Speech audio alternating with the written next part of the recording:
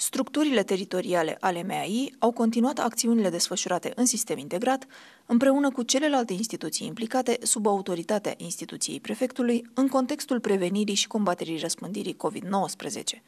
În total, peste 100 de polițiști, jandarmi, pompieri și polițiști locali au efectuat verificări în zonele aglomerate, centre comerciale, în piețe, în restaurante, pe terase și în trafic. Cu această ocazie au fost verificate 50 de societăți comerciale, 97 de obiective și locații cu privire la respectarea măsurilor și interdicțiilor impuse.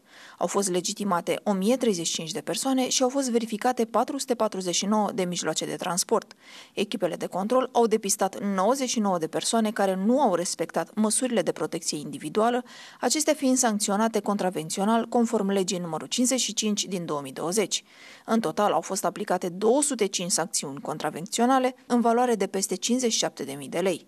Aceste acțiuni preventive vor continua pe toată perioada stării de alertă pentru sănătatea și siguranța cetățenilor.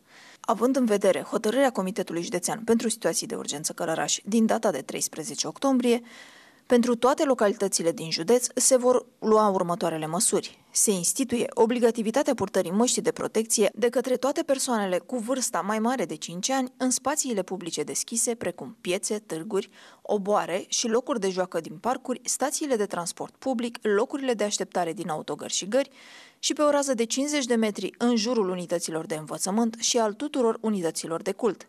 Autoritățile publice locale au obligația de a efectua lucrări de dezinfecție a spațiilor publice pe care le au în administrare.